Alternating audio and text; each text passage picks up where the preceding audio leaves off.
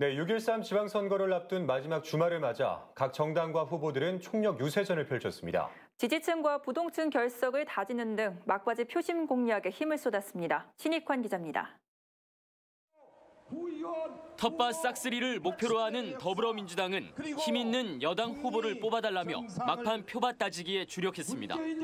광주 시민들에게 우리 한반도의 항구적 평화를 이룰 수 있는 유일한 정당 더불어민주당을 도와달라는 적극적인 호소를 할 계획입니다.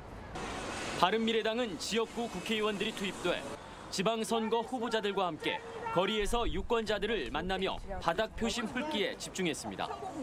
저희 바른미래당 3번 일꾼들이 주민들을 위해서 한 일, 그리고 앞으로 할 일에서 다른 후보들과 차이가 있음을 알 수 있으실 겁니다. 민주당과 텃밭 경쟁을 벌이고 있는 민주평화당은 전남 서부권 등 접전지를 중심으로 화력을 집중하며 유세를 펼쳤습니다. 우리 민주평화당의 전남의 가치를 지키고 5.18 광주 정신을 이어갈 것이며 정의당과 민중당도 여당인 민주당의 오만을 제대로 견제할 적임자를 선택해달라며 지지를 호소했습니다. 6.13 지방선거를 앞둔 마지막 주말 여야 모두 지지층과 부동층 결속을 위해 총력을 기울였습니다. KBC 신익환입니다.